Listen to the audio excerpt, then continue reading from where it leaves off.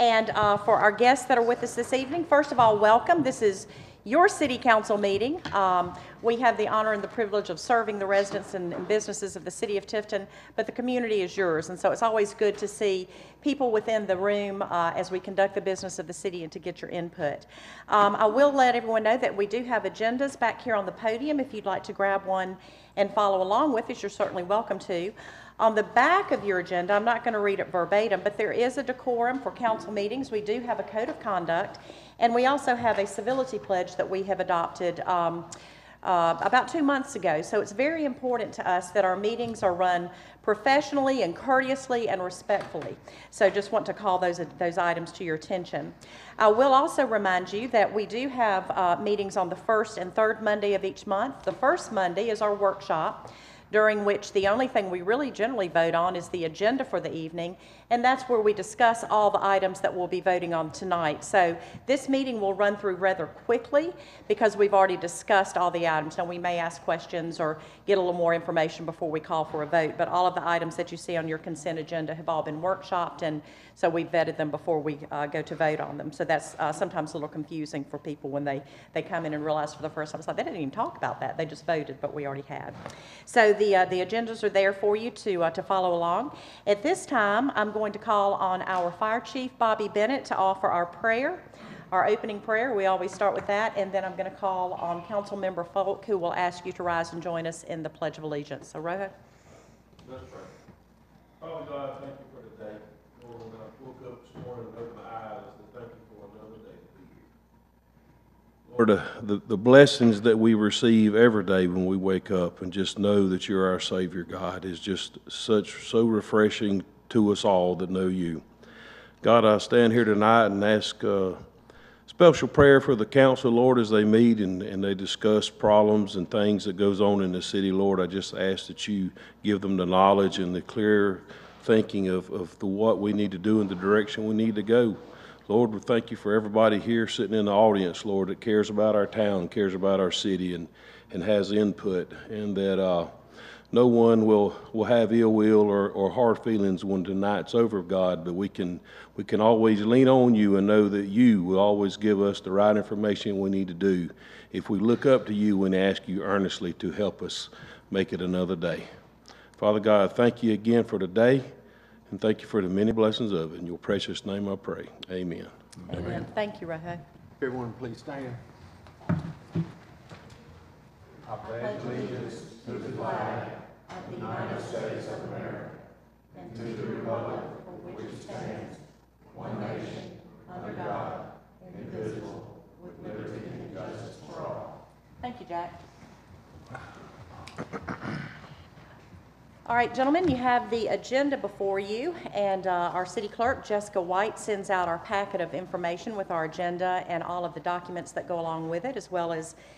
minutes and, uh, and other information, so that we have plenty of time to review that. So you've had a chance to look over the agenda. Is there a motion to approve or to make any changes? Move to approve. All right, thank you. Is there a Second. second? All right, so have a motion and a second. Any further discussion? All those in favor, please say aye. Aye. Any opposed? That carries. The next item on our agenda is the approval of the minutes, and we have three sets of minutes that we're looking at. Uh, The February 17th, 2023, the March 20th, 2023, and then the workshop minutes for April. So you've had a chance to review those. Is there a motion concerning those three sets of minutes? Move to approve. Okay, thank you. So I have a motion to approve. Is there a second? Second. All right, so a motion and second. Any further discussion? All in favor, please say aye. Aye. Any opposed? So that carries as well. All right, we have some, um, some good things we're going to do this evening. Um, A couple of good things, as a matter of fact. It's always uh, nice to be able to acknowledge uh, various organizations in our community who do so much. And so tonight, I'm proud to invite our head librarian and the representatives of our library to come and join me down front here. And I'm going to invite Councilman Folk, because he is on that library board. So Councilman Folk, if you'll follow me. And I'm so glad that you brought your board members. It gives us an opportunity to say thank you for the work that you do. We're very, very appreciative, and, uh, and, and your work does not go unnoticed. Let me see if I can figure out how to turn this on. All right, if you will come this way. We're going to come right here and do this. Um, if you'll look, you see these cameras that are back here by the, uh, by the clock. All of our meetings are on YouTube. And so they are aired unedited, uncut, in their full presentation and full glory on YouTube within about 24 hours of the meeting. So much of our media will, you know, look on the YouTube. They don't necessarily come to the meetings, although we do have Alicia here tonight. So Alicia, we're glad to see you from WALB. But, uh, but the grapevine and the paper, they usually watch the meeting. So um, after I make the uh, proclamation, I'm going to ask if any of you would like to say anything on behalf of the library. So use this time to talk about any programs you want to share or any special new things you have going on, or you can just say thank you and go home. It's up to you. I'll leave that up to you. So, okay. So let me read to you this proclamation that I am proud to present on behalf of our city council. And this is proclaiming National Library, I can't talk, National Library Week, April 23rd through the 29th. And it says, whereas libraries provide the opportunity for everyone to pursue their passions and engage in lifelong learning, allowing them to live their best life. And libraries have long served as trusted institutions for all members of the community, regardless of race, ethnicity, creed, ability, sexual orientation, gender identity, or socioeconomic status. Libraries strive to develop and maintain programs and collections that are as diverse as the populations they serve and ensure equity of access for all. Libraries adapt to the ever changing needs of the community, continually expanding their collections, services, and partnerships, and you have certainly done that, and we appreciate that. Libraries play a critical role in the economic vitality of communities by providing internet and technology access, literacy skills, and support for job seekers, small businesses, and entrepreneurs. Libraries are accessible and inclusive places that promote a sense of local connection, advancing understanding, civic engagement, and shared community goals. And libraries are cornerstones of democracy, promoting the free ex- exchange of information and ideas for all. And whereas libraries, librarians, library workers, and I'm going to add library board members, um, are joining library supporters and advocates across the nation to celebrate National Library Week. Now, therefore, be it resolved that I, Mayor Julie Smith, on behalf of the City of Tifton, hereby proclaim April the 23rd through the 29th as National Library Week in, in Tifton and encourage all residents to visit the Tifton Tift County Public Library to explore the tremendous amount of resources that are available to our community. So, Karen, congratulations. I will present this to you. So, this is awesome. And let's give these ladies and gentlemen a round of applause for the work that they do. If you- And this doesn't really magnify your voice through here, but it does allow for the camera to pick up. So, I'll let you, if you have any items you'd like to share with us. National Library Week is a very special week. Uh, libraries work hard all year round, all across the states, to bring you access to information, technology, tools, programs, but most importantly, connections to your community. Please come see us, get your library card, it's free. We want you in our building. We would love to show you all the things we're doing. And if you won't come to us, we'll come to you. I do. I would love to introduce my board member. This is Dr. Charlotte Klessman, our board chair, Dr. Uh, Chatterjee, Dr. Patilla, and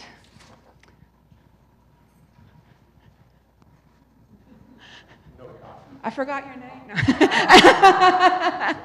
and of course, Mr. Folk and some staff here David Steyer, tech, uh, Technology. Um, Mr. Klessman from our foundation is here. Angela is here from our circulation. And uh, we are all eternally thankful to everybody who sponsors us, donates to us, finances us, and encourages us. So please, thank you very much, and please come see us.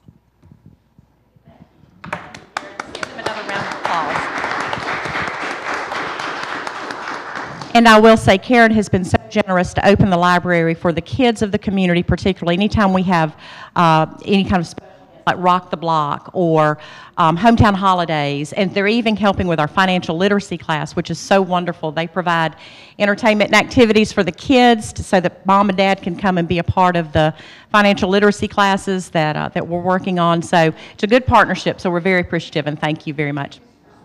Thank you. Okay, the next item on our agenda is to uh, swear in a new board member. I'm going to ask Robert Todd Green to please come forward. Mr. Green, you dressed appropriately, I see. Thank you. hey, it's good to see you. Okay, um, we do rely very much on citizens within our community to serve on various boards that we appoint people to, and we're very thankful to have you volunteer your time on the Tifton Tree Board. So this is your oath of office.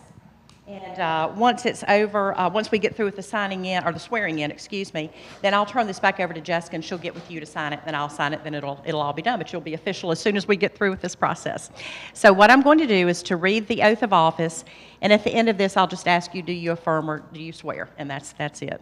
So the oath says that you, Robert Todd Green, do you go by Robert or Todd? Todd, okay, that you, Todd Green, do solemnly affirm that you will faithfully and impartially perform the duties as a member of the Tifton Tree Board of this city, and that you will support and defend the Charter of the City of Tifton, as well as the Constitution and laws of the State of Georgia and of the United States of America, that you shall attend all meetings of the body to which you are being appointed unless providentially hindered, that you shall abide by the standards for conflicts of interest adopted by the City Council and the rules of disclosure applicable thereto, and that unless disqualified by those standards for conflicts of interest, you will actively participate in all decisions of the body to which you are being appointed, and that you shall attend at city expense any special training mandated by the state of Georgia, or attend as scheduled any special training arranged by the city of Tifton. Do you affirm?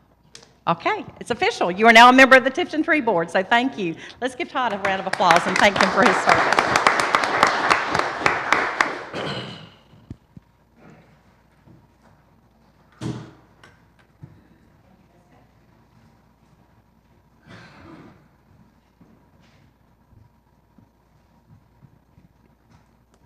Talking about our boards more later in our, uh, on, an- in our agenda, but if anyone is interested in serving uh, in any capacity, um, if you'll just see Jessica, our city clerk, uh, she can let you know. Some boards have very specific qualifications and requirements, some are a little more lenient, so, uh, but if anyone is interested, we'd love to work with you, and so you can see Jessica and- and get that information.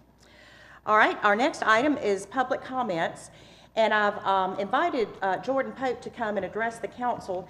He has, um, he reached out to me a a time or two in the past and um, wanted us to, to have a conversation. So it was a conversation that I felt needed to be a a conversation amongst all the council.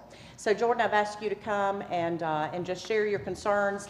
Because we have you on the agenda, normally with public input, it's just a two-minute presentation and then that's it. You, you, this can be a conversation where we can talk, and that's why it was important to me to have you on the agenda. So I'll turn the floor over to you. Thank y'all for having me. Um, I hope it's not more than two minutes.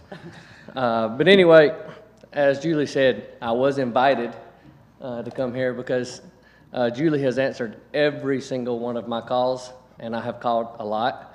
And, and she, uh, she keeps telling me, this is not the time or place for this. This, this needs to be brought up in front of everybody. This isn't something that I can just continue to pound on her on. And, you know, with all of us living in Tifton, I've, I've lived here 38 years, my entire life, and um, I hold Tifton very dear to my heart. Um, we give where we can give, we, we do where we can do, and all we want to do is just make sure we keep creating a great place for our kids to grow up and is safe. And uh, with that being said, our homeless problem has gotten a little out of control.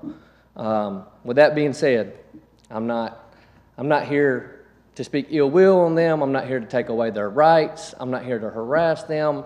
None of that. Uh, so I don't want, I don't want my words here today to be like, oh, he's against that. I'm not against homeless people and their rights and everything else. Uh, what we're against is the continuous problem that they create, which is A, a mess uh, in Tifton everywhere they go. They don't clean up after themselves. They're continuously uh, camping out on, on our property, their property, um, and this was just a very uh, few people that were able to make it on such a last minute deal. Hey, I didn't probably do enough homework to get everybody to, to come here. Um, so anyway, I, I love seeing the community go out on Sundays and feed these people, and they're offering showers. They've had people are donating portable showers. That's great, um, but that's on Sundays. Monday, their next meal is not guaranteed for them. So what they're doing for their next meal is, is causing chaos. Uh, they're stealing, causing problems, um, and just to touch on a few points. Tifton is Tifton because of our interstate access. Uh, interstate I-75, Highway 82, 125, 41, one- you know, all the, the major interstates, uh, inter- intersections that, that come right through here at Chick-fil-A. So when they stop at Chick-fil-A, we'll use that as an example. Uh, we finally got Dallas Hunt to clean up behind Chick-fil-A. There was a whole community back there. And if, when I say community, uh, Dallas did not know how many people that were living back there until we brought it to his attention. He thought they were more so just passing through under the bridge there. When we went back there and looked, there were probably 50 to 60 people set up camps uh, back there in the back, and that is right here in Tift County. And you know what Dallas did was was what a lot of people probably can't afford to do. Uh, there's a lot of people that own land that live out of town, and they probably don't even know that they're they're homeless people living on their property. Uh, but when people stop in Tifton at Chick Fil A, and they get out and they walk their dog on the little grass parking lot right there behind it, and they're met by homeless people begging for money or who knows what else.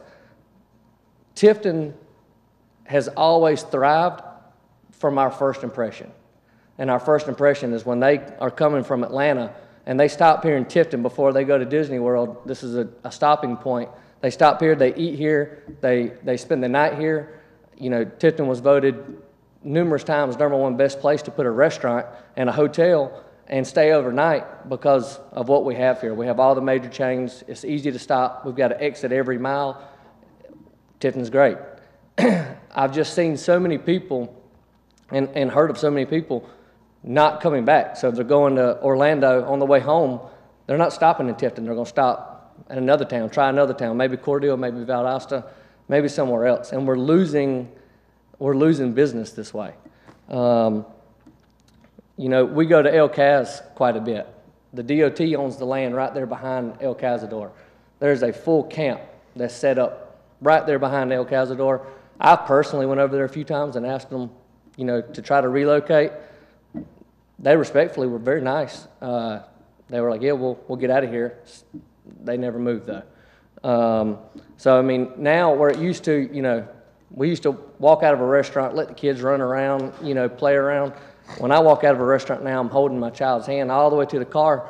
We don't know what, you know, what these their intentions are. We have no idea how hungry they are. We don't know what they would do to get what they need or a fix or whatever. And we just got to figure out a solution. Um, so, you know, Greyhound comes from all over. And, and I'm not sure if everybody, hopefully y'all are aware of it. But anyway, behind Church's Chicken, Greyhound drops off almost a busload a day. I don't know if it's every day. I don't know if it's twice a day. I don't know if it's once a week. But it's numerous times uh, that we see. Um, we wait, you know, we're, we're renovating uh, a building here, at the old Sun Trust, and we've had people, you know, wake, we have to wake them up, move them out of the, the drive-through in the mornings. Where our current office is now, we've got people sleeping in the alley up against the building. Uh, you know, the Lowe's have people defecating in their trash cans, uh, using their laundry mats as, as a shower, uh, using our electrical outlets at, at all our apartment complex. Though our tenant, we're losing tenants because they don't feel safe at some of our apartment complexes because these people are just coming up, they're charging their phones, they're walking in the laundry room, using the, the, the, the sink for, you know, showers and whatnot. So anyway, there's, there's just all kinds of problems, uh, but the main one is when Greyhound drops them off here, there's no way for them to leave. Uh, there's not a, a ticket hub where they can go buy tickets. And then you say, well, they can just get on their phone and buy a ticket. Well, to buy a ticket on your phone, you got to have a bank account. And to get a bank account, these people don't have it. So if they want to leave, it's not like we can give them a $20 bill and say, hey, here's a, here's a, a start on getting you a ticket to where you want to go. There's nowhere to go buy that. So therefore, that $20 bill is probably, if they ask for $20 to, which I've been asked for for a bus ticket, they're lying. There's nowhere to go to get a bus ticket. Um, another main thing, uh, and Chris Dorman will, will back me up on this too. Most of these uh, homeless people, as you can tell, have cell phones. Uh, they're plugging in, charging every night, and if they want a, a, a free, nice place to stay overnight and kind of start over, they know to now call the hospital or 911, say they have chest pains. We're a not for profit hospital. So when the hospital brings them in, they get a free night stay, they get a hot meal, they get some IVs, fluids, and they get to walk out of there, and we're stuck with the bill.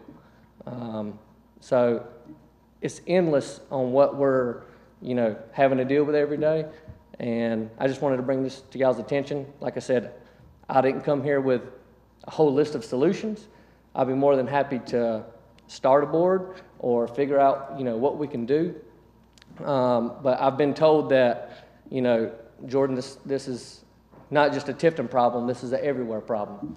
And with that being said, I will, I will say this, like, we visited California a couple years ago, right before COVID happened, and I remember seeing all the homeless people. And in my mind, I was, I was thinking it was terrible that, that this is like this, but somebody let it get too far away. And I feel like that's what we're getting to. But when I left there, I was like, man, I'm glad to go back to Georgia so I don't have to see this, you know? Well, it's now on our front doorsteps, and if we don't stop and do something about it, or at least get a plan in action, then it's going to get so big so fast that it's going to be out of control. Um, so anyway, uh, I've called a couple other towns, talked to some council members uh, on what they're doing, and uh, Valdosta, for instance, uh, they've actually, I don't know if I'm using the correct terms, they've set a mandate or, or, or a law that if you are a landowner and there are homeless people camping on your property, whatever, they give you X amount of days to clean it up. So if it's an overgrown lot, uh, especially around their mall, uh, they actually had some, some homeless people sleeping in some vacant lots and stuff around their mall. They cleared it out. Same thing Dallas did. Bam, they moved on, right? Now, they probably moved on to somebody else's lot that's overgrown.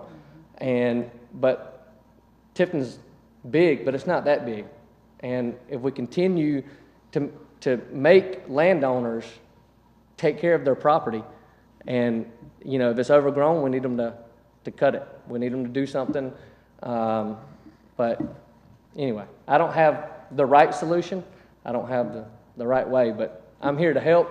I've got a whole group back here that's willing to help and, and plenty more where that came from. If we need to get funds together, if we need to raise this, raise that, do whatever we can do. Um, you know, I, I was told by somebody the other day, and it was a good point. They said, we just need to create a, a home for them, a shelter for them. And that's already created. Uh, if you go to Brother Charlie's, um, you, can, you can go there, but you, you have to be sober, you can't be on drugs, and you can't have a felony. Uh, well, sorry, a certain kind of felony.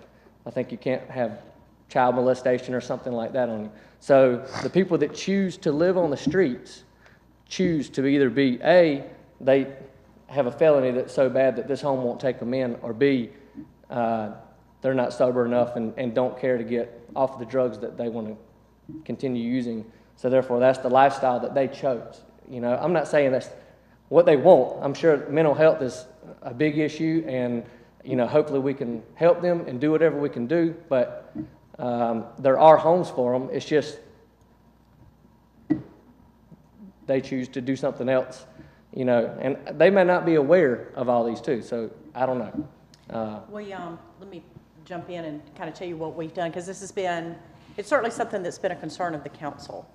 And, um, several months ago, um, I appointed a committee of MJ and Josh, who's not with us tonight. I meant to mention he's, he's uh, not going to be joining us tonight. He had a previous commitment to work on this. And the challenge is, like you said, one, it, it is not a local problem. It is a national problem. I have, through uh, my service to the community, been um, blessed to be able to serve on some, some very broad committees and organizations where I hear this everywhere I go. I just got back from the National League of Cities conference. The number one topic was homelessness. It's everywhere. Um, many years ago, like I shared with you, um, we lost the uh, probably 95% of the mental health facilities that we had in, in, in our area, where people could go, where they could get medication, be evaluated. What's happening is they're self-medicating, and, and it's through illegal street drugs and alcohol and that kind of thing. Um, I- I'd like for Rob, I know we've had great debate on what we can do. Um, Everything that we do, we operate under the advice of our city attorney. We have to make sure when it's government, it has to run a little bit different than a, a private business. So, um, so, uh, you know, I know we've talked about panhandling, I know we've talked about vagrancy, I know we've talked about, um, people who, who stand on the side of the road and hold a sign that says, you know, I'm a homeless veteran, can you spare five dollars or whatever? Um, and the rights that those people have, that we have to be very careful not to overstep their rights. And I know it's a, it's an, it's an odd balance of, well, where do my rights begin and end? That's a conversation Doug and I have all the time at home. Where do my rights begin if my neighbor's dogs are barking? Where, you know, where's my peace and quiet? And then, but then my dogs bark, and then the Gibbs are probably saying the same thing. So, rights of the community are very specific that I always go back to my attorney, uh, our attorney, who doesn't represent me but represents our organization.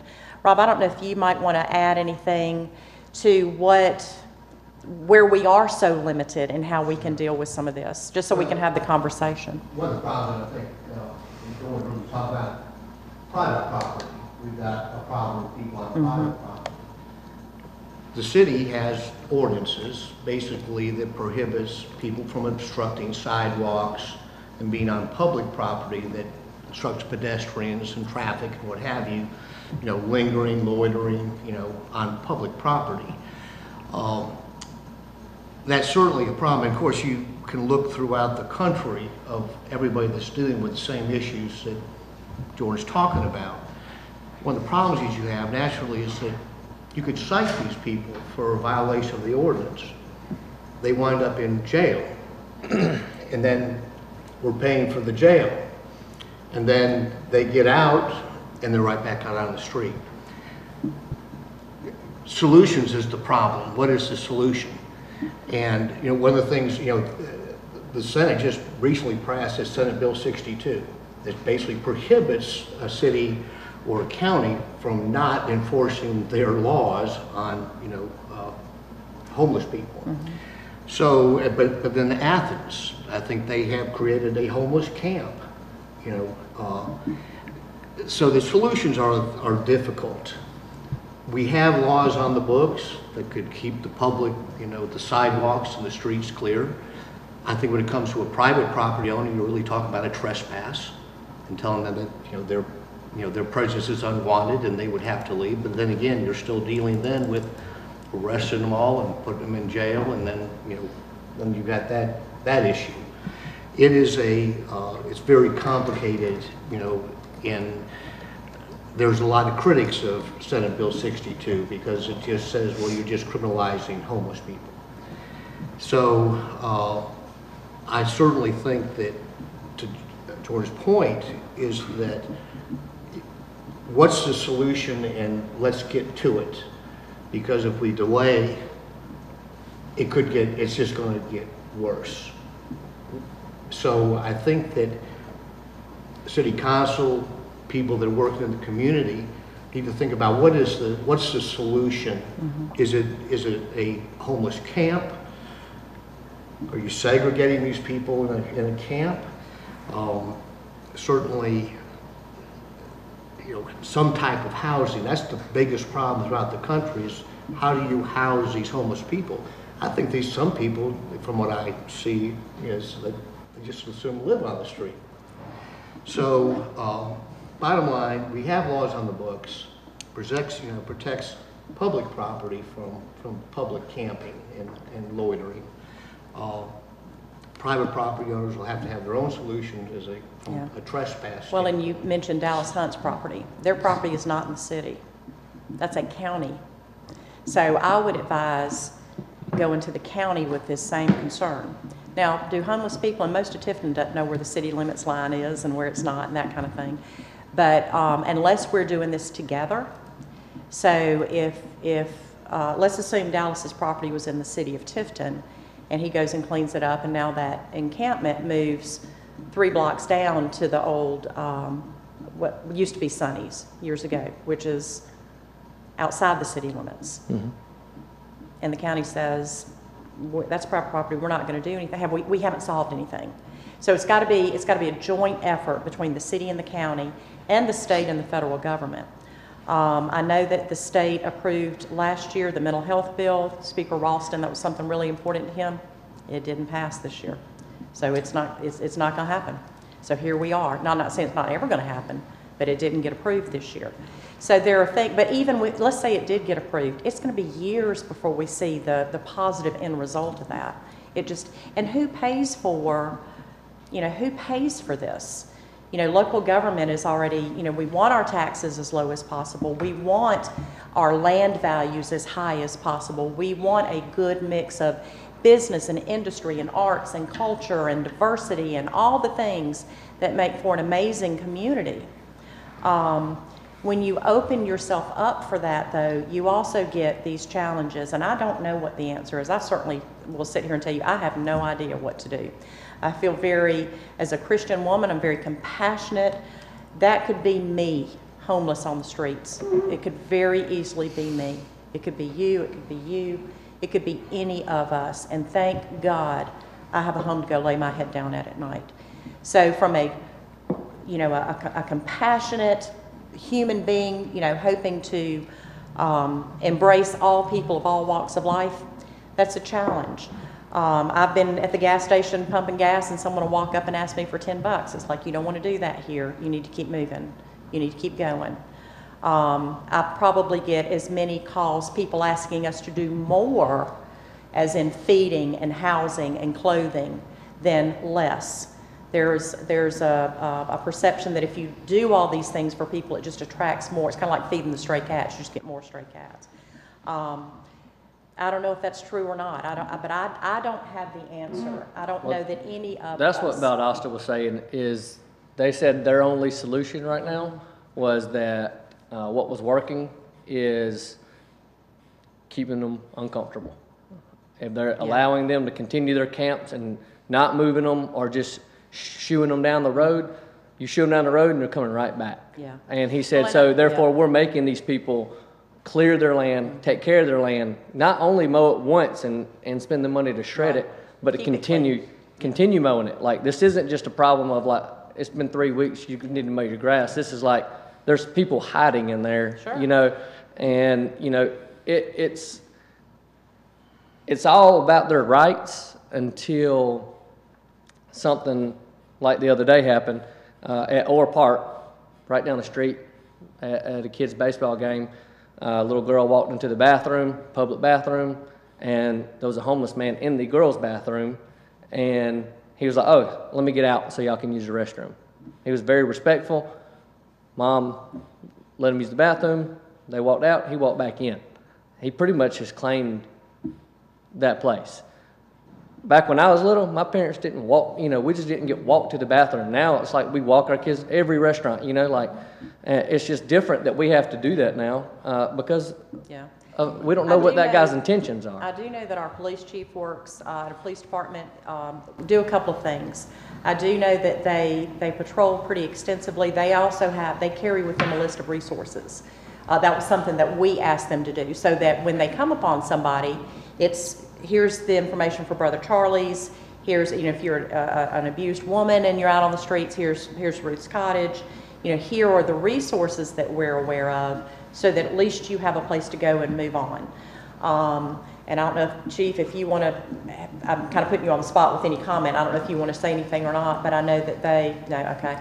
Um, I know that they do, but, but if a, if a private property owner says, I don't care, and we have a lot of those, um, hang on one second. We have a lot of those that say, I don't care. I'm not, we're stuck. Okay, what what were you, Um, he mentioned the homeless camp that's not in the city limits. There's, there's three different areas right by Short and Paul that is in the city Right. limits. Right. Uh, we've got them sleeping, uh, in deer stands that we built that we're for sale right on forty-one there. We're running them out of there. There's a homeless camp right behind the depot, uh, across the street from Short and Paul behind Bastow. There's another one behind, uh, Low Electric up off of Bellevue. and, uh, it, it's, it's a mess. Yeah, Um, I've got a tenant that across the street, um, from, that, that's renting from me, that keeps his doors locked. And if you go to see him, uh, one of his customers goes to see him, you knock on the door. If I go to see him, I knock on the door, and they'll come and look, open the shades, and, and see it's me, and they'll let me in. right. Um, yesterday, um, oh no, it was Friday afternoon, uh, I walked over to that tenant's office and was, um, panhandler, trying to, trying to get money. You know, I mean, it's, it's a problem and, and, you, you know, when uh, Dallas cleaned that area up, all it did was move them over to Fulwood's Right, side. And, um, you know, there's absentee landowners in there. Um, you, you know, and the city used to have, uh, the Main Street program used to do stuff, a, a grant to help people, uh, fix up the front of their building to, to make it better. Uh, maybe they could do something like that to help defray some of the cost of, uh, of cleaning up some of this yeah. property. that Yeah, they they, need they, up. do- they do still They have the still do facade that, grant, yeah. I mean, the Um, problem is moving, cleaning up property, moving to the next one, okay? Making it uncomfortable, they move somewhere where they're not. So we haven't solved the issue, you know, then, so we- now, what is the issue? I mean, one of them is clearly mental health. One of them is mm-hmm. clearly veterans with PT, PTSD. If, mm-hmm. if you don't think PTSD with veterans is a problem, I can tell you just some personal stuff. But until we can get the state, or in the meantime, we need to get the state, and, and you've got a connection on the, the state side, to go back to funding some of this mental health, and because there are people that are out there, they're just gonna live on the street, like me, that, that's all they wanna do. But there's some that just, they have nowhere else to go. They are, they, their minds are, are going, they need help, okay? So, we- We're having trouble renting some of our property because of the homeless issue. I, I, I don't doubt that, and, and, and I'm not downplaying it is, but my point is mo- moving them, if we could load them all up and move them to Tifton, to Jordan's point, the next day, there's a bus coming with some more coming in. Well, first of all, we need to figure out why Greyhound is doing this. Like, if there's not a hub here, we shouldn't be dropping them off here. And I- That, that's number one. it, Let's get, let's get somebody that has the, the say-so to call Greyhound and say, you know, listen, Joe found the Greyhound bus that, that they were dropping them off of, walked up onto the thing and started talking to the guy, and he's like, all I can tell you is this community, when I say community, the homeless community, has made it known that Tifton has made it comfortable for them to live here. And if we are known for that, then it's only a matter of time before we're not the reading capital of the world, we're the homeless capital of the world uh, for small Georgia. And I don't want to be a part of that. I just want, I want to be able to let my kids ride their bike down the street, not worry about if they're going to get snagged or, or whatever. And that's kind of where we're at today. So, you know, it, the homeless problem, like if we don't start a solution now, this problem is just like raising a child. If we continue to just let it snowball, if your child's 10 years old and all you've done is shush them and just push them back away, then by the time they're 10 years old, you've lost them. You know, you've not, you've not done anything about it. You can't go back and fix 10 years worth of problems. You know, you got to fix it every day and stay at it every day. And if we continue to stay at it and all get together and figure out a solution, I think, I think what you're not seeing those we are. We really are. And um, we, we understand the situation. And like I said, it is, it is a national epidemic, no different than COVID, which was an international, you know, pandemic. It's an epidemic. Homelessness, drug addiction, drug problems. Um, it's just, you know, it, it saddens me. It breaks my heart to see. The, I've, I've seen kids that are home. You know, it's just it breaks your heart. yeah. Um, we do work at it every day. I know our police department. I know uh, government moves very slowly. We we do have to be careful. Everybody, according to our Constitution, does have the right to exist, and so. Um, we have to be very delicate in how we handle that. I don't want to downplay your message because we hear your message, Yeah. but we are so limited with funding, with what we can do. And part of us, it sounds like we're saying we need to help them so we can get them up to a point where they can move on and move on with their lives in a positive way. But if we do that, then there's going to be more. And who pays for that? That's expensive. I know there have been organizations that have tried to start programs. Um, Doug, I can't remember the one that was, our church was going to be involved in it.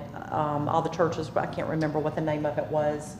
Anyway, it was going to be, the churches would have their facilities and teach them, uh, these, you know, if people wanted parenting classes or resume builder classes or whatever Something promised or. something, yeah, anyway, it doesn't matter. But um, I don't know what the answer is. Um, So I don't want to downplay um, the concern, because we have the concern as well.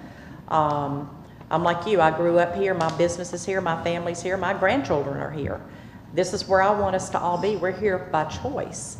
And, um, but, you know, I, I don't know what the, uh, I don't know what the answer is. So that's why I wanted to, to start the conversation. Um, it's got to be a united effort between city and county government first, and then it's got, we've got to get the state resources and the federal resources pulled in. Um, you know, the, the, the horrific drugs that are on the street now, people take them and they, they, it's, it's awful. Why anybody would do that, I don't know, but they're self-medicating. That's all they know to do, to try to feel better, or try to escape whatever's going on in their head. So, I don't know, Rob, One of the things that you know, it's like the panhandle.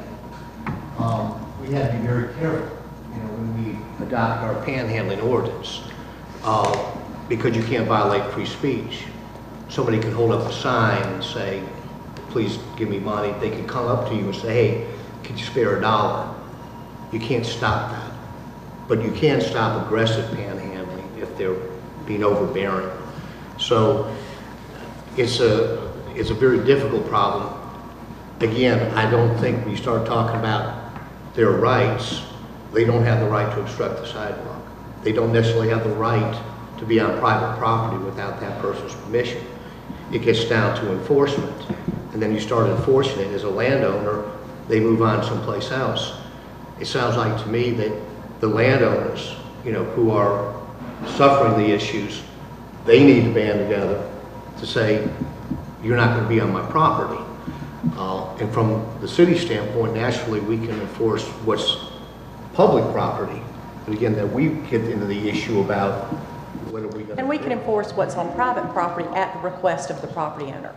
So if Mr. Jones has um, a property, or Jay, or, you know, whoever it is, and calls 911 and asks for Steve to come, you know, send some officers out there, or code enforcement, or whoever it is. Um, But, the- you know, the thing I would always tell people, you know, if you feel threatened, first you need to call 911. If you see something, you know, like the, the guy in the, the bathroom, yeah, he might have been very respectful, but somebody should have called 911 and said, there's a man in the, in the, in, in this ladies' restroom, and that's not right. Let's get an officer over here and move him on down the road. You know, so, um, anyway, I don't know what the, uh, I don't know what the next steps are. I'm open to conversation, um, whatever. I'd, I'd suggest you go to the county, make this same presentation, tell them you come here. Maybe we put together a- a joint joint city, task force. county, some private citizens. I, it, it's gotta, and, and go from there. Yeah. I, I don't know what else to do. Any comments you want to make, Emily? Any, any thoughts as the manager? No, Jack hit the nail on the head. I think a lot of it, the root cause is when we lost state funding for mental patients, um, mental health patients.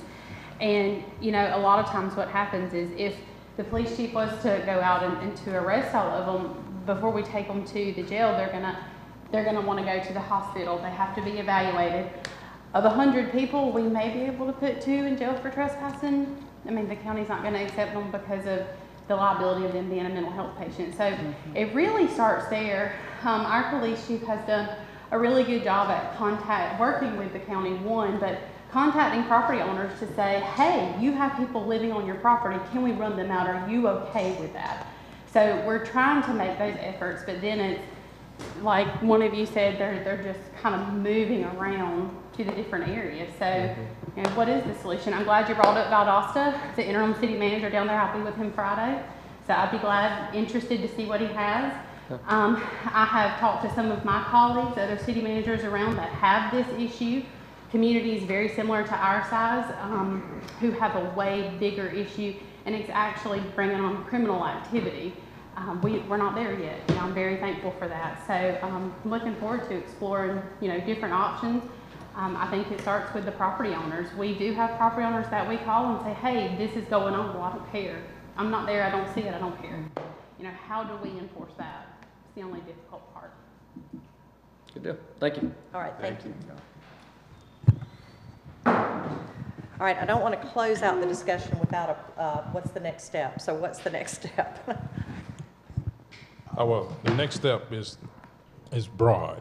Um, One of the main things that everybody have to understand, that it's gonna take a collective that's not just one side, not city, county, uh, not just on the business side. It's, it's gonna take, uh, entire collective of committees, um, solutions that come up with, um, crisis response.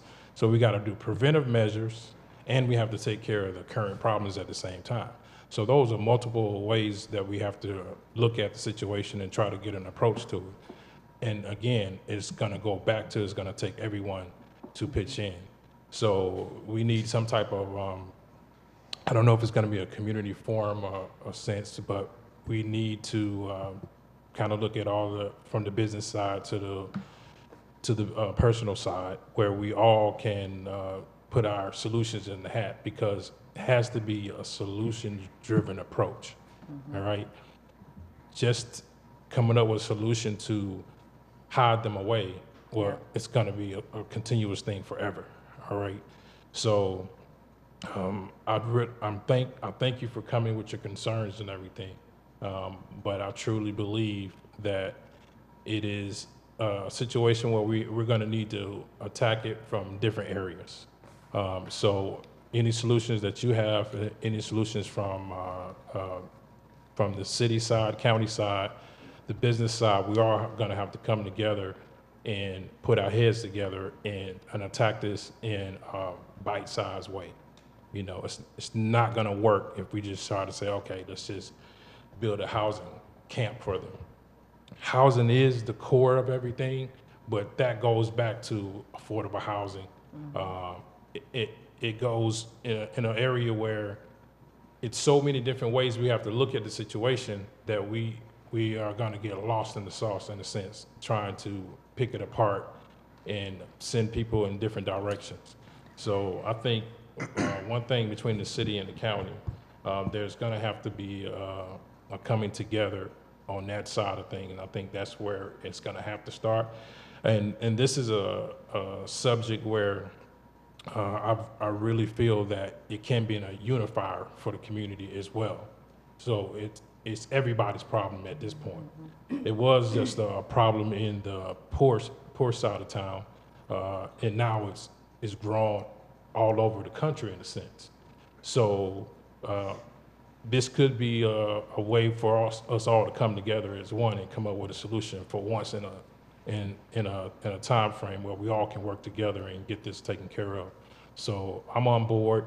Um, I'll take the lead on, on, um, from my side of things, uh, from my district. Uh, I'll reach out to the county.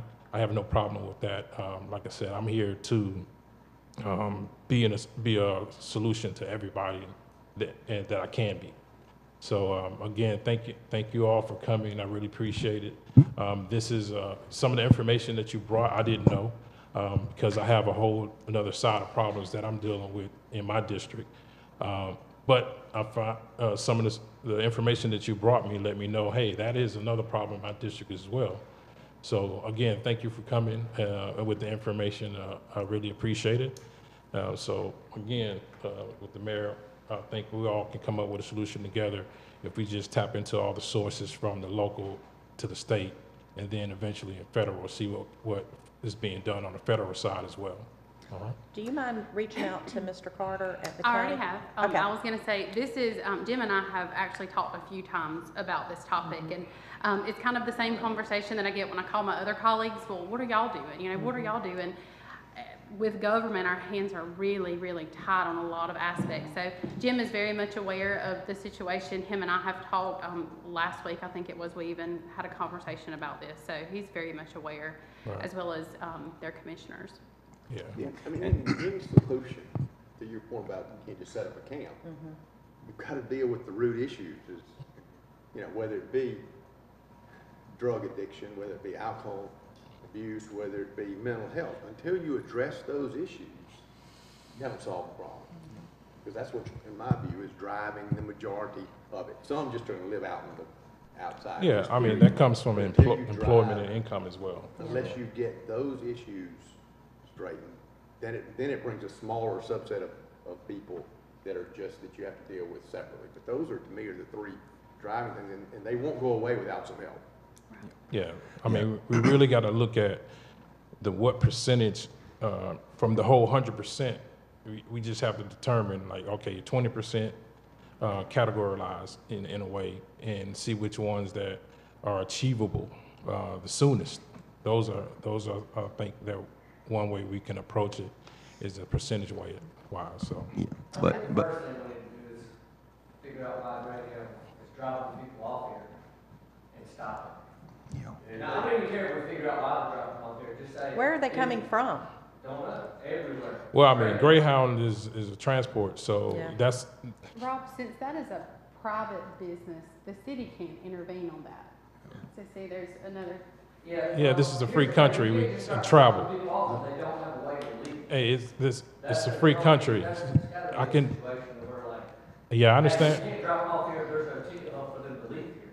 It's, it's a free country. I can go anywhere I want. The problem is though, is, is they're dropping them off here because that community is, of homeless people around have found that Tifton's a good place to go to. And what we need to do is find out what, make it where it's not as good a place for them to go. Yeah, I get, I get what you're saying with the deterrent aspect. I agree with that. That is just one solution. That is not the only solution. So I'm not saying that it's, that what you're saying is, not, doesn't need to be done. It does. It's just one side. But it's only, uh, by just doing that w- one thing, it's not gonna work. Uh, because Greyhound is gonna come through here forever, as long as they're in business. And there are other ways that they're getting here besides Greyhound. So I, I feel that definitely what you're saying, if we, we can, but again, that's gonna run into legal. All right? So again, we have to walk delicate with this situation because when the legal aspect comes into it, you're working, you're dealing with human rights. Yeah. And it could be a fiasco for But, um, all of us. yeah, for me, on the standpoint of being on the homeless committee, as far as for the, coming from the city of Tifton, the things that we have done, we have set up a committee, and we've worked on that. We've also went to Brother Charlie's, we've got the details for each and everything that they can do to be accepted, and all the other, uh, out resources that we have. Our, uh, police force, fire, they have the notes to give those people at the time, um, to do that. We've also listened to you guys today, and um, we're going to keep checking off that list to make it right. And that's the only thing we can do. So you guys need to just continue to help us with the information that you get, and we're going to have to tackle on our end as far as a government situation on how it can be handled within decent and in order. Because we're not going to go and just run people away, and we're not just going to haul them off out of town, because then the beautiful light of the city of Tifton that we've all talked about has now gone to darkness, just because we have some homeless people that we want to get out the way. I have property too. They lay out on my bench all the time. I go up, I picked them up and told them to get on out of here, or what do you need to keep moving, or what is it? I've asked the questions. You know, it's hard. But every day I wake up, I know I could be right there laying on that bench. Yeah, yeah. So we're either gonna come collective and we're gonna make it right, and that comes from a, me as a city constituent, or as a councilman, or police, city manager, any of my colleagues that's up here today, we've listened. But the city of Tifton has started our checklist. And we're going down that list and we're gonna get it right. But we're gonna do it in the way that it's supposed to be done. And that's all we Again- can do. And I get it. Trust me, I get it. Yeah. It's not, it's Everybody not. up here has property. Yeah, and it's not new. This is, this is This is something. nothing new. Yeah. I have It's- a, It's I have new I have a because it's spilling over. And everything. I mean, we're right downtown in the heart of the city. Every day I walk out my door, I got somebody charging their phone. Every day. Yeah. Every single day. And I got a one-year-old and I'm holding him. But I, I, I'm not scared either. My property value ain't went down. But we gotta be careful how we walk on it. You can't just say, let's get them out of here. Hey, you know, I get it. We want everything to look prim and proper around here. I want it to look prim and proper. I don't want them out here sleeping in deer stands at people's business or none of that. But we need to do the protocol. Find somebody in the deer stand, call 911 immediately. Hyman, let's get them over there. Let's get them out of there. Trespassing, boom. Gotta lock them up, we're gonna lock them up. Okay, now we're gonna pay taxes on them, that's fine, but you gotta start a solution. Same situation. We just gotta work together. So let's start a homeless task force. But at the same time, we gotta go have that same conversation over there with the county. Cause all we're gonna do is just keep running a hamster wheel. Keep it We're gonna move them out the city, they're gonna knock some trees and woods down, and they gonna, gonna find some more trees and woods, and they're gonna hang out. So, everybody has a, some real estate background and qPublic, let's find these people that own this land, that has trees grown up and everything, let's get to calling them and ask them, do you want them to stay or do you want them to go? If they want them to go, well, what do we need to get it cleared off? And then maybe it'll make a little uncomfortable, you know, but as far as the Greyhound situation, anybody can buy anybody a ticket, you know, and really, we talking about the homeless people, did y'all know the state prison, that's where they drop their state prisoners off to? I've seen it all day long. That's the drop off for the state prisoners. They've been doing that for years. So that's worse than the homeless. I don't know what he got out of jail for, but I've seen it, and that's where they drop off. That's the drop off. Right there. All right, we have lots more conversations to have, lots more work to do. So if you'll continue talking to Jim, um, lets us keep this on the radar, um, continue to, to work on this, and, um, that's all we can offer at the moment. Okay? Again, thank you all for coming. Thank you. Okay, let's move on with our uh, agenda. The next items, items number four through 10 are the consent agenda. And as you know, gentlemen, those items can be um, approved together, or we can take those individually. So I'll take a motion concerning the consent agenda. I move we approve all of them in total. Okay? A second. All right, so I have a motion and a second. Any further discussion? All in favor, please say aye. Aye. Any opposed? All right, thank you. Um, The next item under new business is the Finance Committee appointment, and um, Josh is not able to be here with us tonight. His son is in a sports event, so um, he's with his family this evening, but I would like to appoint Josh uh, to join Jack on the Finance Committee. Uh, We are neck deep in budgeting right now, so, uh, so y'all, you gentlemen have your work cut out for you. Um, And, and the Finance Committee does not make all of the approval for the council for the, um, for the budget. The Finance Committee are the ones that really get down in the weeds and the details and the specifics, and then will bring us back recommendations and reports. So anybody on the council has access to the information that's being reviewed. So Larry, if you don't mind, as the Finance Committee meets, if you could send that information out so everybody has access and can review it, and then they can offer suggestions and have the conversation back the other way to the committee. So, okay. Perfect, I know you will. So, and as always, if you have any specific questions on budget or accounting or, or anything, just, just reach out to Larry or Lisa. They're always very generous with their time. So, um, so I'm going to appoint Josh uh, as the Finance Committee um, appointment. Our next item on our agenda is our board report. And um, something, my computer keeps going out. Hang on just a second.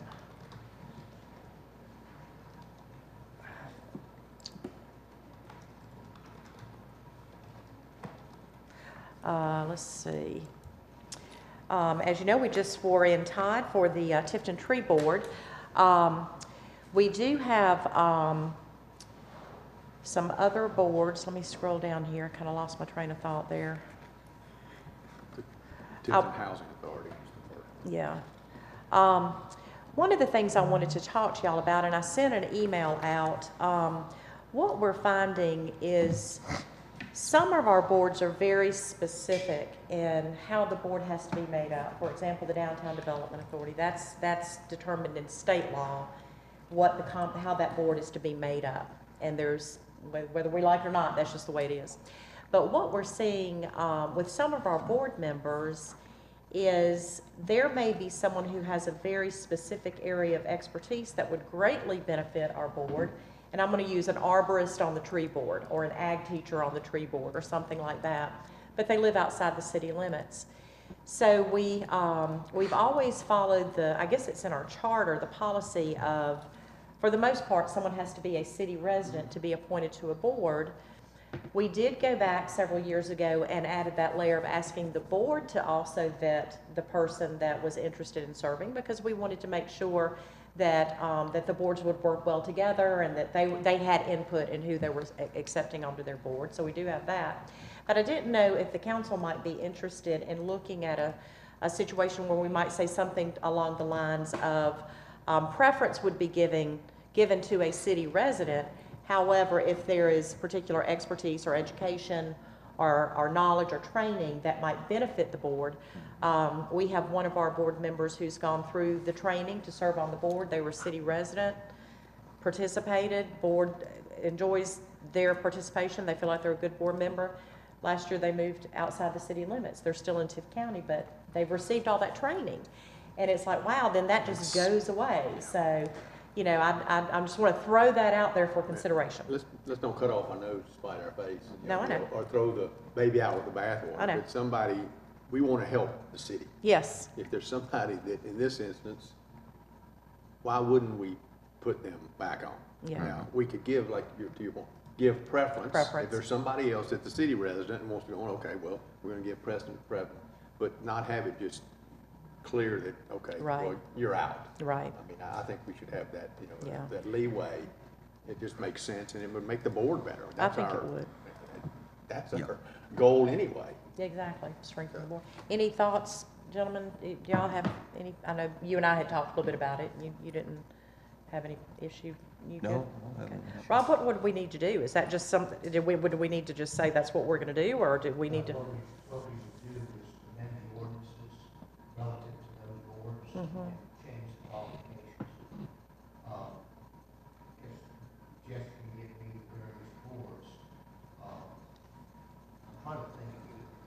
There's just a few boards that are really addressed in our ordinances that I've seen, which is the zoning board of appeals and historic preservation commission. Those are, uh, those are addressed specifically in our ordinances. And I'm not familiar, going back to the tree boards, the other boards, that's beyond my time. I don't know how those have been created in the past, or if there's even any, um, any policies that are attributable to the qualifications to sit on those boards. Well, for, um, for example, the Housing Authority. Dr. Portilla would like to be appointed to the Housing Authority. I think she'd be an outstanding board member, but she's a county resident. She doesn't live within the city. But we have properties, the, the Tifton Housing Authority has properties outside the city, so, I think the best thing to do at this point is uh, have Jessica go ahead and give, give me a list of all the boards. okay. and then determine, do we have anything currently that, we you know, as far as their qualifications? The Housing Authority, Julie, for some reason I got something in my back of my mind that state law may have something to do Okay, with that. and it may. I want to look at that. I did look at the URA. Yeah. UR, the state law and URA says you can do, you know, pick Well, whatever and you for want example, to. and and I, I don't want to, one of our applicants for our tree board, um, she's an entomo, forest entomologist, working in outreach, encouraging habitat development in urban and suburban areas, pollinator habitat. That, I mean, she's perfect for the tree board, but she lives outside the city limits, But so. see, right now, I don't know that there's any disqualification for that. Yeah, No, it's not. I mean, that's when, I don't want to call anybody out, but a few years ago, y'all made me do this policy. I know. And before, all we did was accept an application. I didn't care. I remember there's, and there's somebody that even put a fake name. I didn't check, check that they were a real person. And so we started just looking into it more. So I, Yeah. I mean, I spent a lot of time um, at the beginning of COVID developing Mm-hmm. that policy. Um, and we have like 11 boards. I mean, so in every Yeah. board, there was Every's a little something different. different. Maybe it was their bylaws and an ordinance. And then we adopted um, uh, board qualifications if they were not stated anywhere else. And that was the number one thing that y'all um, wanted was a, a city resident. Yeah. I mean, we could maybe possibly change that to a property owner, but it did narrow down the people. And so a lot of times, you know, I bring those to you all, But I just make it Yeah. clear that they don't meet the policy. And our preference, my preference is, is city residents. Right, that's the Number one, preference. Rather Yeah. that, Yeah, but we need that yeah. ability, Anyway. just, you know. So, if um, qualified. What we can do tonight, if, if y'all would like, there are some that obviously do qualify, you know, that we could go ahead and reappoint. Um, uh, let's see, um, so, for example, Jimmy Dill on the Keep Tift Beautiful Board, um, his term has expired, he would like to be reappointed. And then there are two other applicants for Te- Keep Tift Beautiful, uh, Andrea Albright and Jeremy Lovelace. They both are city residents, and so they, so we could go ahead and fill, uh, fill those if, if, if y'all so choose. Um, Historic Preservation, we have, um, we have three that do qualify, uh, Adam Simmons, Franklin Will, and Jeff Robbins. Um, and the HPC has recommended, uh, them all being reappointed. Justin is the gentleman that I was referring to that has moved outside, but if we could address that later. Um, now, the other thing, Jessica, let me make sure I'm right on this. They do continue to serve until they're either reappointed, at which time their service does continue, or we replace them. So they continue to serve until that vacancy is, okay. Yeah. Okay, so it's not like we're gonna leave someone without a quorum or something if we don't do something tonight. Or does the historic preservation, do they just have to be in the, in the city? They don't have to live in the historic district? District, just Okay, second, yeah, okay. yeah. So, um, can you check on, uh, Rob or Jessica, can you check for me on being able to appoint Dr. Portilla to the Housing Authority? I'm looking at it as Okay, we speak. okay. If you could have an answer in two minutes, that'd be great. We can come back to that. Um, All right, what I'm going to recommend, if someone would be willing to make an uh, excuse me, a motion to appoint, uh, reappoint Jimmy Dill to keep Tift Beautiful, and then to also appoint, um, uh, Andrea Albright and Jeremy Lovelace to keep Tift Beautiful. That will be three appointments to that board. So Make- moved. Second. I so motion second. Any further discussion? All in favor, please say aye. Aye. Any opposed? All right, thank you. And then on Historic Preservation Commission, uh, if someone would please make a motion to reappoint Adam Simmons, Franklin Will, and Jeff Robbins. Make a motion. Okay, thank you. Is there a second? Second. Okay, so we have motion second. Any further discussion? All in favor, say aye. Aye. Okay. And Rob, have you found that answer yet? I think I'm there, just about. Okay. So the tree board, we can't appoint that person yet until we, we could? Yes. I mean, I, I think I put them on all of those. So the tree board, it says that they just have to be a county resident. Okay, all right. All right, then we have, uh, for the Tifton Tree Board, Lori Felton, um, is no longer on that board, so that left a vacancy. And Ms. McCarty, that I referenced a few minutes ago, uh, has a very impressive resume, and so she does meet the board requirements, so I'll take a motion I move we concerning. appoint her. Okay, thank you. Is there a second? Second. All right, so we have a motion in two seconds. Is there any further discussion? All in favor say aye. Aye. Any opposed? All right, Jessica, has that got us all caught up now, other than Dr. Portilla potentially? Yes, ma'am. Well, besides um, Justin Golden, and that Yeah. is a part of our ordinance, so we want to make um, that change. No change, okay, Absolutely. okay. All right, um, we still have a quorum. We're just about done. Uh, all right, Larry, financial report, any, any updates? Mayor and Council, just to give you an update, through the first three quarters of this budget year, we're still doing very good. Uh, Looking at the general fund, revenues are up above budget uh, at um, uh, 13,573, and the expenses are under budget. I give all the credit to the department heads, they're doing a great job managing their expenses. Uh, Expenses are 11,388, which gives us net revenues over expenditures of 2,187. So we have a good cushion heading into the last quarter of the year where revenues will fall off a little bit. So, uh, but we should finish the year strong, so uh, we're looking good there. On the enterprise funds, on the water fund, uh, total revenues are 3,257. Total expenditures, 1,858. Net revenues over expenditures of one million three ninety-nine, so that's doing very strong. Uh, Sewer fund, total revenues, three million eight fifty-nine. Total expenditures, two million eight forty-six, with net revenues over expenditures of one million and twelve thousand. Then the gas fund, total revenues, four million seven nineteen, total expenditures, four million two eighty-six, with net revenues over expenditures of four hundred thirty-two thousand. And then, uh, solid waste, total revenues, three million forty-five thousand, to expenditures of two million four oh seven. Net revenues over expenditures of six hundred and thirty-eight thousand. So, uh, all the funds are looking good and, uh, we're holding our own. Okay, excellent. Do Anybody have any questions? Gentlemen, you good? I'm good. Okay, Okay. thank you, Larry. And uh, my door is always open, just. Oh, I if you will have any use it, don't questions, worry. Drop in and say. I'll be coming to see you a Now, lot. Lester knows All where right. the third floor is. I Okay, welcome your visit. okay, thank you so much. All right, Emily, your city manager report? Um, just one thing, uh, we will start this Saturday and kick off Georgia Cities Week. Um, it's always a great celebration for us to highlight, um, not only our employees, but the services that we provide to the great community. Um, Saturday, this Saturday, we will kick it off with, um, Earth Day citywide cleanup with KTB. Um, we have registration forms out online if you are interested in participating in that. That will be, um, Saturday morning from uh, nine to twelve. And then Saturday night, we will have Mike Night at the Tift Theater, where this is a first-time event, so we're pretty excited about that one. Um, throughout the week, we will spotlight um, various boards and committees, um, do some Tifton trivia online.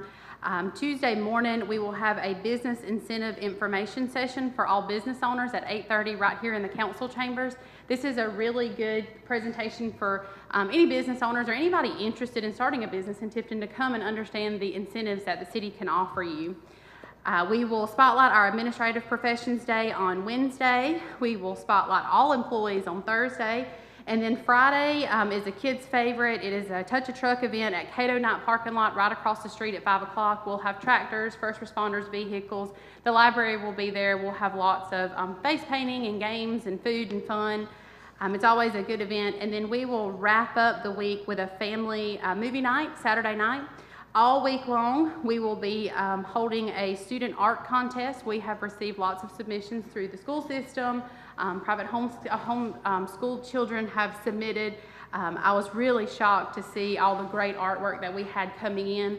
Uh, we do have plans to display that all here at City Hall um, in the lobby, so you can stop by and see it all week long, and we'll announce our winners then.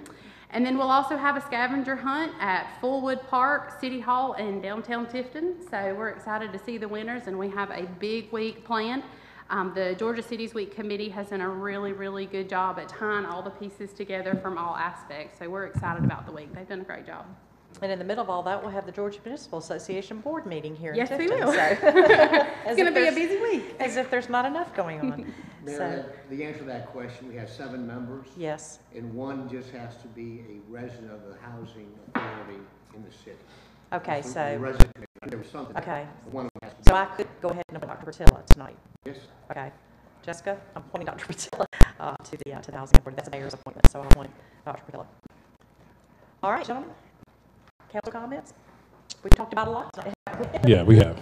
Uh, In reference, t- for me, I guess the meeting was largely about the homeless. Um, I want to read something from uh, an author called uh, Daniel Quinn. And I think our approach should be organized around this quote. And it goes, Don't try to drive the homeless into places we find suitable. Help them survive in places they find suitable. So I think if we can f- come up with solutions that bar on that comment, on That's that statement, powerful. we can, we can definitely make a difference. Very good. Thank you for that. Thank you very much. MJ? Um, no, just really thankful for the group coming today to let us know about those, Yeah. those, uh, those items. And, uh, you know, like I said, I think, you know, the city of Tifton has started that, that, that process of trying to work on fixing these things. Yeah. But it's not something that just happens overnight. It's a collective effort, um, you know, from many different levels. Yeah. And, uh, I think, you know, the city of Tifton for sure is going to do that, but we also have to have some, some other buy-ins from the county and a collective group, so, um, and I think Well, we're like I gonna do said at the that. beginning of the meeting, and I'll wrap the comments up with this, this isn't our city. It is in some aspects because we live here. We are, we're elected to, do a specific job, but it's our, it- it's our collective city. It's whether you're a resident, whether you're a visitor, whether you're a homeless person, um, we have an obligation to, uh, to serve all who are in our community for whatever reason, whether it's a college student or a shopper or someone visiting the doctor, or whatever. Um, and we take, I know that everybody that sits on this council takes that very seriously. I know that everybody that's employed under the umbrella of the city of Tifton, the organization, takes that very seriously. And um, we need to have the conversation. Some of the conversations that we'll have with people concerning our community may be difficult and they may be challenging. This is one of them. Um, but it's not something that we're going to uh, shy away from, and it's certainly not something that we're going to be disrespectful about. So, um, so I appreciate y'all's input and, and your comments this evening, and, and Jack's as well. So, um, is there any further business that needs to come? before- Oh, I do want to remind everybody about the financial literacy class tomorrow evening at 5:30 at the Leroy Rogers Center. Those classes are going very, very well. Classes are free. If you have not been to a class and you'd like to go, jump on in there tomorrow. They can catch you up. Uh, the classes do build somewhat, but not necessarily. There is a portal that you can go in and do some work. Uh, financial literacy is a big part of helping homelessness issues. Uh, if you if you don't know how to manage what money you may have, or you can't set a budget for your family, how are you ever going to rent an apartment or buy a house, and those kind of things. So financial literacy is a big part of that. and It's a good program that Dr. Tift is overseeing. So uh, that's tomorrow at Leroy Rogers Center, and it's free. Yes, ma'am. I want to go back to that appointment for the, you said you were going to appoint um, Dr. Patilla, Mm-hmm. um, but there are two vacancies. So if you could look back. I don't, um, and Randy, Okay. reappoint Randy. I'm sorry, I, I did, I didn't. And then that should have that board solid. So we'll, uh, I'll be reappointing Randy Chambers and then appointing Dr. Portillo. Thank you, Jessica. I didn't, didn't do that. All right, has that got everything? Okay. All right, any other business? Does anybody want to go home? Okay, we're adjourned.